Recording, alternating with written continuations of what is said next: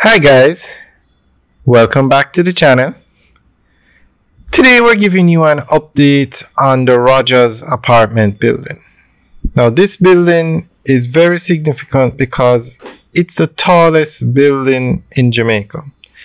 It stands at 20 floors. It's located in New Kingston, Jamaica, within the city of Kingston. It's a residential it's a residential building with penthouses, three bedrooms, two bedrooms, etc. It took it became the tallest building in Jamaica late last year when it passed 17 floors. The Pegasus Hotel at 17 floors was the tallest building. So we're keeping our eye on this one and we'll give you regular updates on this development. Now, as you know, Jamaica is growing. A lot of development, unprecedented and unprecedented level of development in Jamaica. So they have two buildings that are going to be taller than this building. Um, none of them have reached 20 floors yet. So this is still the tallest building in Jamaica. We'll keep you guys updated on those buildings as well as this one. It's they are actually the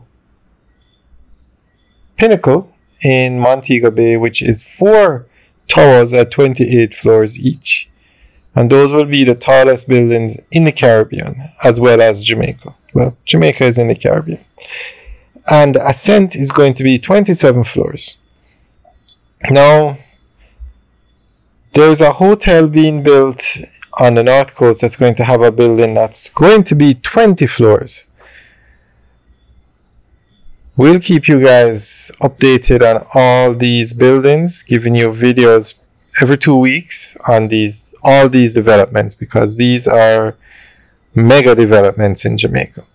But this one is the Rogers and it's coming along this section or at this stage of the development it's moving a bit slow but it's moving.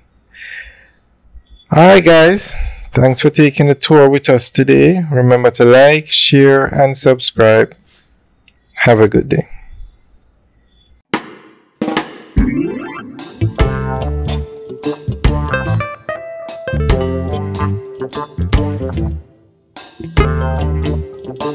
Thank you. Thank